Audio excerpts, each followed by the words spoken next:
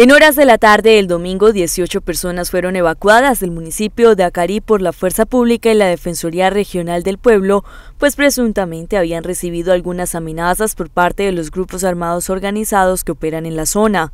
de amenazas, intimidaciones en contra de estas familias. Inmediatamente pues empezamos a articular acciones, a eh, activar rutas pues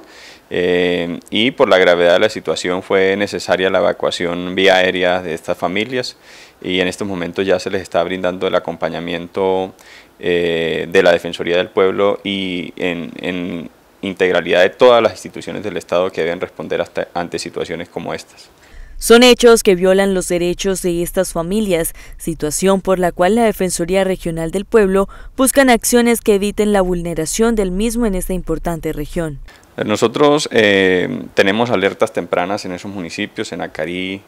en Ábrego, en La Playa, en Teorama, en San Calixto, en El Tarra, eh, donde advertimos todas estas situaciones de desplazamiento forzado, advertimos situaciones de homicidios, de secuestros, de mm, minas antipersona y demás, en realidad eh, hechos victimizantes que afectan a la población civil.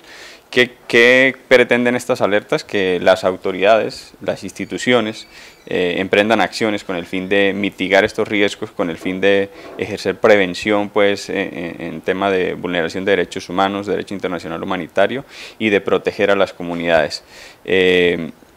y ya en el marco de, después de que se producen los hechos, pues nos corresponde brindar un acompañamiento a las familias eh, y eh, de alguna manera pues explicar las rutas y la atención que debe brindar el Estado y en eso estamos. Hasta el momento se tiene el pronunciamiento de más familias que pueden salir en condición de desplazamiento de los municipios de la región del Catatumbo. Sí, tenemos también conocimiento de, de hecho ya verificamos una situación en veredas de, de Acarí, la playa de Belén,